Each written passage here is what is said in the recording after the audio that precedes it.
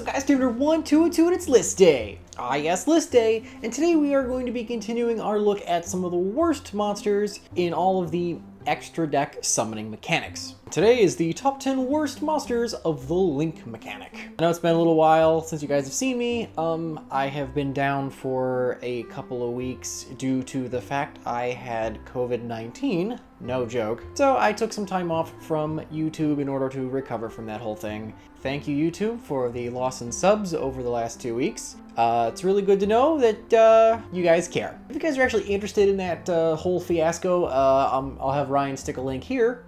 I go through the whole thing, talk about my experience, you know, I hope it's educational for you guys. Something interesting, something different. It was certainly an exciting thing. I never want to do that again. But anyway, the top 10 worst Link monsters in this game is certainly going to be an interesting one because Links aren't that old. We are only one Master Rule removed from the introduction of the whole mechanic, so even though we've had a couple of years with them, we still don't have the just sheer amount of them like we do Xyz and, and Synchros and Fusions. So without further ado, let's look at some of the worst the Blue Boys had to offer. Number 10 is Arcana Extra Joker. Just like the Sunday, it's sweet. This Link 3 Light Warrior monster has the following effect. It is made of three warrior monsters with different names. Not 2 plus, not 1 plus, 3. Meaning you kinda can't use other Link monsters to make it. And if you are, those Link monsters are either Link 1 or you're wasting material. So, uh, that's not good. But anyway, what does he do? Once per turn, when a spell, trap, or monster effect is activated that targets this card or a card this card points to, you can discard the same type of card that was uh, that you're trying to chain to. So if your opponent played a spell that targets, you can discard a spell. Your opponent used a monster effect, you can discard a monster, and so forth. You negate that activation. Uh, it doesn't destroy it. It just, just negates it. For spells and traps, that's just as effective as destroying in most cases because they just go to grave anyway, but it's against those monster effects that this is a little annoying. Now his protection effect is okay, but he does also have a second ability, where if he's killed by battle, you can special summon a normal warrior level 4 monster from your deck, and you can add one level 4 warrior monster from your deck to your hand. That one does not need to be a normal monster, however. I guess that's neat because it mitigates the advantage you lost for summoning the stupid thing, however it is destroyed by battle effect, which is probably the worst way to get an effect ever. I wish those motorcycles would go away. Now you might say, hey, Dave, it's got a negation. That's pretty solid. No, yeah, except for the fact that when you realize that this thing is just a more restrictive, less good decode talker, you start realizing why this card is on the list. It's harder to make, requires a specific discard, Decode Talker is probably easier to use and easier to make in pretty much every single instance, and Decode Talker will probably get an attack boost that makes it comparable to this thing's power, so even the fact that they have Despair and attack powers isn't even a particularly good advantage for this thing. And no one plays Decode Talker, so you would never play this. However, its effect isn't the worst thing in the world, so it's number 10. Number 9 is Agave Dragon. This Link 4 Earth Worm has the following effect. Two plus effect monsters, except tokens. Okay, that means you can at least make it with other Link monsters that are like Link 2 and stuff. That's nice. If this card is Link summoned, apply these effects in sequence, skipping the ones that you can't actually use. That's a strange effect, but okay. What are these effects? Depending on the type of monster that you have in your graveyard, you can do all of this stuff. Inflict 100 damage to your opponent's life points for every dragon you have in the grave. This card gains 200 attack for each dinosaur. Your opponent's monsters lose 300 attack for each sea serpent. You gain 400 life points for each worm. As interesting as this effect is, sadly, Mariachi Dragon is pretty bad. Konami really should apologize for this.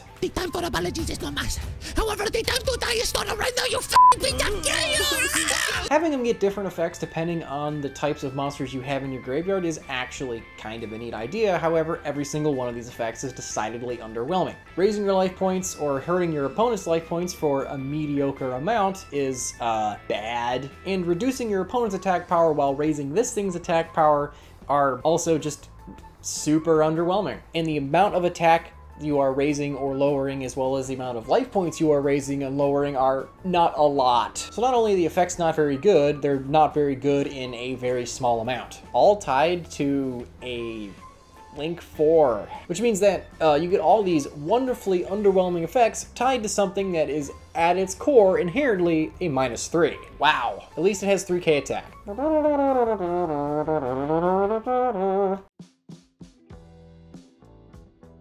Number 8 is Recovery Sorcerer. This Link to Light Cyberse monster has the following effect. Two Cyberse monsters. He's not generic.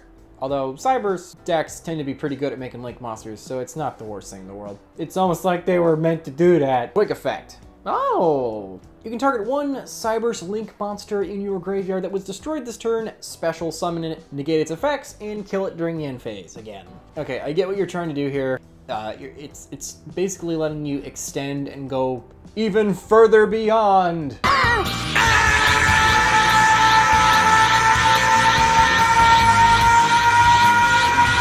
without running the risk of that monster getting back from the grave actually having impactful effects. But uh, the fact that it requires you to resurrect a monster that was destroyed this turn drastically reduces this card's utility. Unless, of course, you can somehow destroy the monster yourself, so that way this card is a lot easier to proc, you're going to be finding this thing is just sitting in your extra deck pretty dead. And with like 1500 attack, it's not like you can use it to wall up and then try to block an OTK because your opponent's just gonna ram over this thing first to avoid its effect being used during like a battle phase to like chump block, which Link monsters aren't even very good at anyway because they have no defense. so I guess it's better than a direct attack, I suppose. Had this just let you resurrect a Link monster from your graveyard, that would have been freaking fantastic. The card would be busted. But the fact the card needs to be destroyed this turn really does make this card extremely specific in its use. Um, which sadly in Yu-Gi-Oh! always seems to mean the card ends up just being bad. Regardless of how good that specific use effect is. Isn't this game fun? Number 7 is Trickstar Delfiendium. I Defi defi two plus Trickstar monsters. Man, we're not gonna hit it too much for being not generic because it's a Trickstar Link monster. Of course it's made of Trickstars. Okay, what's do? Link 3 Light Fairy? Okay, sure, why not? When this card declares an attack while pointing to another Trickstar monster, you can target one of your banished Trickstar monsters, okay, up to the number of Link monsters your opponent controls, add them to your hand. This card gains a thousand attack for each card added until the end of the turn. All right. Um, wow. Yeah, uh, that's a lot of, that, that's a, a lot that needs to go right. Number one, this thing needs to be pointing to a Trickstar monster. Number two, you need banished Trickstar monsters. Okay, that's more setup. Number three, your opponent needs Link monsters. Okay, more setup. Four, it's like a Link 3, so it requires a lot of resources to make. What? When would they expect you to resolve this, and in what circumstance? Uh, it just makes big number. And the fact that it starts off at like 2200 attack isn't particularly impressive, so like, again, a lot just needs to go right. And because it's a battle effect, it also means that you can't use it going first, so it has even lim more limited function. When it comes up, would it be clutch to have? Yeah, probably. You might be able to OTK or do something cheesy with it, but I think, frankly, you'd be better off just running a Fistful of Honests or something, and then you can use any of your monsters for that, and that's not out of your way and stupid. Also, I like the artwork. I like it. Number six is Gouki, a solid ogre. Better than a soft ogre, Cannot be destroyed by battle or card effects while it points to a Gouki monster. Is Link 3 Earth Warrior has the following effect. Cannot be destroyed by battle or card effect while it points to a Gouki monster. Eh, okay, they're a Link spam deck. That's that's probably happening. Once per turn, quick effect, you can target a Gouki monster you control in a main monster zone and move it to a zone this card points to. You can only use this once per turn. Best case scenario, this allows you to fix a board state in which you didn't know what you were doing and you link summoned in the improper order and have now clogged your field with a bunch of nonsense which means you are playing a card in your extra deck to mitigate your own idiocy. That's not good Yu-Gi-Oh! If anything, it's actually like bad Yu-Gi-Oh! compounded into worse Yu-Gi-Oh! because you're playing poorly and then you're deck building poorly. Must be fun losing. Now, with self-protection's kinda neat, and frankly, if you're making this thing, that's probably all you really care about. Uh, dragging things into different columns is pretty useless in most cases, especially because like it only does other Gouki monsters. So you can't do something like shove a Tri-Wizard over or something to get it into a, a more co-linked position or something in order to like, you know, do some fancy wombo combo. It, it, it, just really goes to show you that uh, it's pretty hit or miss with Gouki's Link monsters, despite the fact the deck itself is a particularly competent Link spam deck. They just didn't have necessarily a lot of cool things to go into that are in their own archetype, which makes no sense. The Gouki ain't so brokey, waste of a shoki. Master King Archfiend, here we go. Number five is at least interesting bad as opposed to just, just boring bad like a couple of the other ones we've looked at so far. And isn't that really what all these lists are about? Two Fiend monsters. Okay, sure. It's one of those it's one of those Link Vrains pack Link 2 Legacy monster support things. Sure. What do? Once per turn, during your standby phase, pay 500 life points or destroy this card. It's one of them arch fiends, ain't it? Once per chain, if you pay life points, you can send one fiend monster from your deck to the graveyard whose attack power equals the amount you paid. That's neat. It's like a foolish burial on legs, and it's once per chain. Ah, I mean, you can use it a bunch of times, presumably speaking, but there's still a wall of text left. Once per chain if a fiend monster is sent to your graveyard, which means I think you can chain it to itself. That's interesting. Well, no, you wouldn't chain it to itself. You would activate its second effect as a new chain upon resolution of, of the fur. You know what I mean. You roll a six-sided die. Ah, here we go. Do something based on the number. Roll a one. Add that fiend monster you milled to your hand. Okay, that's cool. Two through five. Shuffle that shit back in your deck. Six. Special summon it. Wow, nice. That means that you have a 33% uh, chance of going plus one. That's cool. Now, the interesting thing about the card is that it's clearly one of those chess archfiends, which is fun at least. That means that, hey, cool, look, Prime is supporting old stuff. They're making it bad, but at least they're printing it. And uh, he can use his effects in response to his own like maintenance cost because it's a pay 500 life points. So, hey, you don't even have to come up with a convoluted way of paying life points. Except when you realize like the only viable targets for this thing are like Plunder Patroll, Bluebeard, and Decatron. Neither of those want to just be dumped to your graveyard, really, so... Which means you have to rely on its 33% chance of getting those cards to a position where you'd actually like them to be. Okay, so maybe using his own maintenance cost isn't the best thing. Well, well now you're adding just more stuff into the mix. Now you have to pay life points somewhere else. Ah, there you go. You play it in DDDs. The more I speak, the more I realize that any way to make this card work is an absolute convoluted mess based upon RNG. Hey, at least it's a cool idea. That's a thing. Number 4, Bellcat Fighter. I think this is supposed to be a Hellcat, which is a World War II uh, believe, Marines fighter plane replaced the Wildcat, which had trouble dogfighting the Japanese Zeros over the Pacific. I'm only talking about that because it's far more interesting than the card itself. What makes it a Bellcat is there's a bell hanging from his fuselage. Get it? It's a it's the kitty plane. God, this card's dumb. Yep, it's a it's a monster that looks like a plane that summons tokens, and it's somehow not a Mecha Phantom Beast, nor is the token, because that would be good. Link 3 Wind Machine. At least the typing's nice. Link 3's pretty rough. 2,000 attack. Wow, that sucks. It's incredibly disrespectful. Its arrows are okay. When this card destroys opponent's monster by battle, you can special summon one, oh, what are these things called? Bellcat tokens. 2k attack and defense. In defense position. Cute. Okay, so there's a lot going on here, and it's all really, really bad. It's a Link 3, requiring three monsters to make it, one of them being a token, meaning it's not generic, and uh, it's a neg 2 in order to create the monster. That sucks. And what do you get for it? 2000 attack. Nice. And you know what kind of effect they gave it? A when you can, meaning, and potentially, depending on the game state, this thing could miss timing. Granted, this would happen at the end of the damage step, so there's not a lot going on during then that will probably get in the effect's way to cause it to miss timing. However, uh, it has the potential, and that is really dumb. Not only that, but uh, they made it have to kill stuff by battle and gave it a crappy attack power for a Link 3. So it's like, what are you, what are you trying, what are you killing with this? Also, you can summon a token in defense position in the middle of your battle phase. So you can't even use the token to continue your offensive. So you need to go to main phase 2 to make another Bellcat fighter? I don't know what you're supposed to be doing with this stupid thing. Granted, its effect is kinda neat, in the sense that it's weird enough that given the right deck, somebody might find a function for it, but it's really clumsy. Requires you to make too much, and I'm positive Mecha Fan Beasts, which are the deck you'd probably be making this thing with, has a lot better options they would rather be making.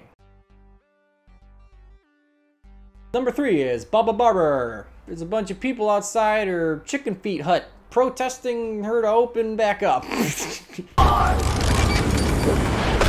Link to Dark Fiend, what do? 200 attack! At the start of each battle phase, you can target this card or one monster this card points to, banish it until the end phase. You can only use the effect of Baba Barber once per turn. Okay, it has 200 attack and they gave it a battle phase effect. That's cute. Oh, you can't even like link it away and then enter your battle phase. You gotta enter your battle phase with this useless freaking thing stuck in attack position, and all it does is reduce your board presence. They couldn't even give it the common decency of have a forward-facing arrow so that you could use it against one of your opponent's problem monsters that are in their extra deck link zone thing, so that you could potentially at least deal with it until the uh, you know, make it next turn's problem. But nah, it only can work on your own stuff. Why would you want to do that? Maybe your own Jinzo is locking out your own back row because you are playing Jinzo in a trap deck and you're an idiot and you need to turn it off for a little while. And uh, that's the only thing I can think of you'd ever want to do this is if you're playing a deck where you have a monster that has some sort of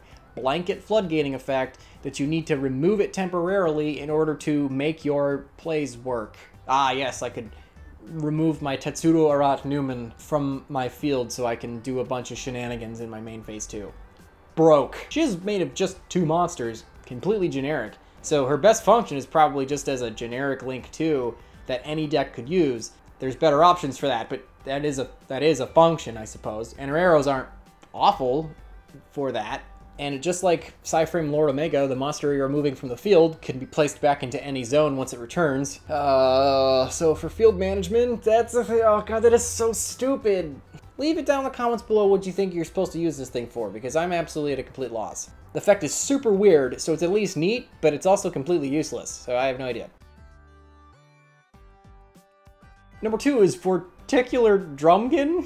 Vorticular Manslaughter is a Dark Link 3 dragon with the following effect. Three Dark Dragon monsters. Ooh, very not generic. Couldn't even give me the 2 plus, could you? If this card is special summoned, you can draw one card. However, if you resolve this effect, for the rest of the turn, unused monster zones cannot be used. Okay, I guess you're supposed to make this thing in Rokkets, typing, and what you make it with.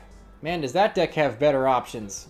I suppose if you make this late into your Link combo where you have a bunch of other monsters on board, it's not going to completely Ojama yourself. The issue is, it, it, requires three monsters, so you're clearing off a majority of your board to make this thing, so odds are pretty good this is pointing at something that you can't use. The arrows it has makes you think it's supposed to kind of go in like the middle of your board. However, when you summon this thing, you're going to be using a bunch of monsters all over the place, so likelihood is that you're it's going to be pointing at two zones that are now empty that are unused. So you can't continue to link summon, which is the point of making a link monster, especially with horizontal arrows like this. It only has a thousand attack. It's not even a beat stick. Man, that card you drew better have been really good. It's a, it's also a damn good thing that it's optional. That's really bad. Imagine there being a Yu-Gi-Oh card that lets you draw a card and the player is going to actually have to debate whether they'd want to draw a card or not. That's, that is that is some wonky effect. It's a dark day in Yu-Gi-Oh! when the advantage is not worth it. It's not how Yu-Gi-Oh! works. Honestly, it looks real dumb. Alright, here we go. Dishonorable mention is Defender of the Labyrinth. Classic Yu-Gi-Oh card retrained into a Link monster. It, that was what they were doing there for a while. Weird thing about this one is it wasn't one of those boosts one and lowers another, like Metal Raiders cards. It was like a vanilla monster, so it's a really weird one that they retrained this one as well. Although, sure, why not? Probably thinking too much into it. Made it two normal monsters. Okay, cool. Gives those plays a bunch of vanilla decks something to make. Non-effect monsters you control gain 500 attack. so it is like one of those uh, Metal Raider guys, but for instead of by attribute, it's just non-effect monsters. That's funny, I guess. And effect monsters your opponent controls lose 500 attack. It's exactly one of those things. That's actually really funny. This thing's destroyed by your opponent's card. You can target a, a normal monster in your grave, special summon it. Sorry, non-effect monster. It matters sometimes. For those in the back, uh, a non-effect monster could be something like a Vanilla Fusion or Gem Knight Pearl or something, where it is it, there is a possibility that something can be an extra deck monster but has no effect, so it is technically a non-effect monster instead of just saying normal monster, because normal monster implies a monster with no effect that is in the main deck. The more you know. And you can only do this once per turn, because of course you can. The card's okay. It's not very good, and it would be landlocked to a deck that is probably bad. 10e, I guess. At least their field spell is pretty good. However, I don't believe it's bad enough to be on the top 10. I think it's only a dishonorable mention because it's it's not very good, but that's mostly due to the fact that it's stuck in a lackluster deck more than it itself is particularly bad. It's an okay link too. And if people are playing Mrs. Radiant and Zoos and playing Mistar Boy and Frogs, and yeah, these minor boost uh, Link 2 guys with diagonal arrows are at least functionally decent little Link monsters. So, okay, sure, it serves a function. And I also kind of like the idea of a, a, deck based around normal monsters that uses those normal monsters to, to go into Link monsters that have effects. That's kind of fun. Although I, I, I think that if you're making Link monsters out of normal monsters, those Link monsters should be really, really, really powerful to make up for the fact that all the stuff you're making them with don't do anything. So I, that'd be nice. But anyway. Thank you so much guys for watching the video. If you guys want to help support the channel, check out my links down in the description below. I've got links to the Discord, Facebook, and Patreon if you want to get in touch with me, help with the lists, things like that. Or if you want to save some money, you can head over to MetaMat's website, use my code TROLLMETA at checkout, you can save 10% off a custom cloth playmat like one of these bad boys. Or if you want to waste your money on expensive cardboard, use my TCG player link in the description below and put off your financial obligations. I am so glad this card is number one, because not only is it the worst Link monster in the game, it's one of the weirdest. Dual Link Dragon. Dual Links Dragon? Yu-Gi-Oh! Dual Links! This card sucks. This is clearly a relic of Master Rule 4, because in Master Rule 5, we don't need this garbage. Although, frankly, you'd have never made this in Master Rule 4 either. This Dark Dragon Link 4 with zero attack power has the following effect. Two plus monsters, including a Synchro monster. Ew. Alright, before we go any further, let me just really... That is a terrible, terrible material let's assume the worst case scenario, you need to make this out of four monsters because you don't you didn't go in any link twos or anything previously. Because that's the best way to illustrate this. It's a link four, so you need three effect monsters plus, let's say, Stardust Dragon. Stardust Dragon was made of two monsters, meaning this is essentially a link five. A neg four to make this thing. And frankly, the synchro monster you, you lost to make this thing was probably serving a better function, and probably had attack power. Synchro monsters tend to be good, because they're a little complicated to make. See, they're worth it. Funny how those things work. But anyway, during your main phase quick effect, oh, oh, oh, I can't wait. You can banish one power tool monster or one level 7 or 8 dragon synchro monster from your extra deck. Special summon a dual link dragon token thing, the same type, attribute, level, attack, and defense of the banished synchro monster you just got rid of. If you control one of those dumb tokens, your opponent can't target this thing for attack or with effects. Had this been a Link 2, it might have been actually kinda good because it would have been a decent extender. Sure, you're losing probably a really good synchro monster, but in the middle of a wombo combo, who really cares? You have a whole 15 cards in your extra deck to play whatever the hell you want. You just get rid of one that you're playing in there just for this thing's effect. It gets you a big beater of a token that you can then use to keep going with your links. However, this thing being a link 4, or effectively a link 5 given the cost of the materials it requires to make this stupid thing, likelihood is you're ending your board with this thing and a token, and that's it, because you blew your entire hand in order to make this stupid thing. So like, why didn't he just go into Saryuja or something? Because it effectively does the same thing. It's a link 4 that gets you a free guy on board, and also lets you draw a bunch, and stuff, like, because it's like a, a, a, good card, and it has attack power. You could have just gone into the Borrelsword Dragon and won. A lot of things you could have done that aren't this. The only thing that's cool about the card is that its effect is so super strange that, you know what, kind of, kind of fun, I guess. What's the strongest thing you can make with this? It's a 3k beater. The best thing you can do is banish like a Beelze and make a 3k beater. Oh, it's not even big number. If you wanted a big token, you were better off just trying to bait your opponent's Nibiru. what an odd card. Anyway guys, that was the top 10 worst Link monsters in the game. Hope you enjoyed it. As far as my first uh, first video back in a couple of weeks, uh, well real video at least, the last one was kind of a vlog, I don't know if that really counts. I, I hope this isn't a nightmare to edit because I'm a little out of practice and uh, I'm still recovering. Still got some, some lungage going, so... There's a lot of talking. But guys, let me know in the comments below what you guys think. And remember, if you don't troll the meta who will, uh, I'll see you guys next time for the uh, where we pick back up with my top 10 best cards in the main series of the games. Well, well, well, look who's back. Be sure to subscribe to the channel this time. Or I will use my Millennium Rod and do devious, devious things to you. Evil things. Also, by the way, Bakura never did ever get that milk. I did get the bloody milk. No, you didn't. This is oat milk. It's not real. It needs to come from a cow. How do you milk an oat?